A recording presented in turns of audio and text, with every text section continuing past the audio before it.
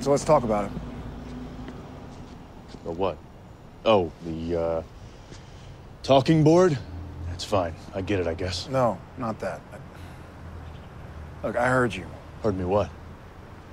What happened in the brewery, Dean? Nothing. It was, uh, it was just my imagination. Dean, look, I know something happened. I just want you to be straight with me. The blade was across the room and then it was in my hand. And then my beer drank itself. Oh, and then that page magically appeared on the bed. And and then Bobby's book fell down and out popped the number of the guy who found Cass. Nothing, I'm sure. Clearly. Well then what? Sam? Is Bobby here or not? You know what I think, Dean? I think that regular people, they see ones they lost everywhere too.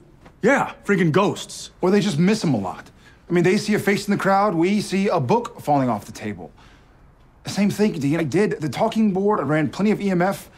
When that beer went poof, I, I went a little nuts. Yeah, and why didn't you tell me? Like I said, little nuts at the time. All right, well, if it wasn't Bobby, then what Jedi'd that sword into my hand?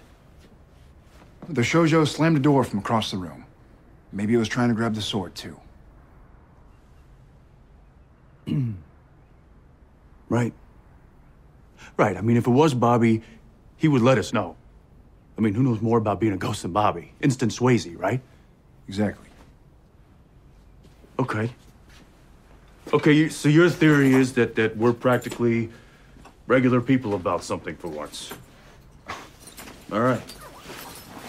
Well, you want to grab some brunch and some brews? Ugh, no, I'm so hungover. Let's just hit the road. All right.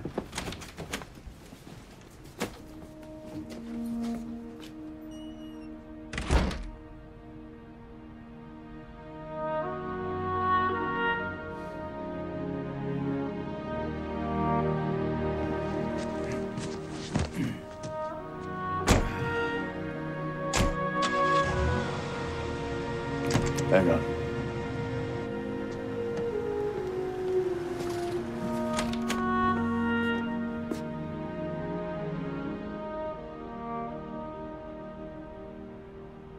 There you are.